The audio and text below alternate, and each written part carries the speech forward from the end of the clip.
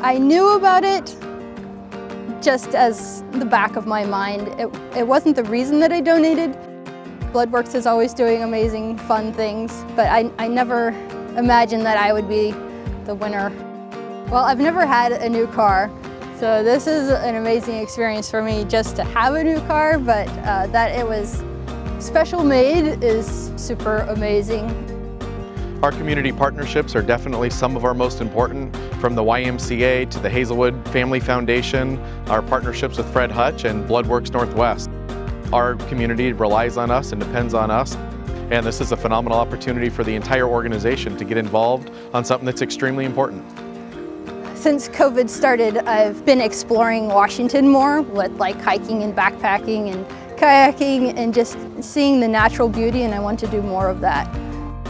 It's important to donate blood because it's needed. There's a critical shortage right now. There's uh, children at cancer centers and people who've been in accidents and all sorts of people who can benefit from that.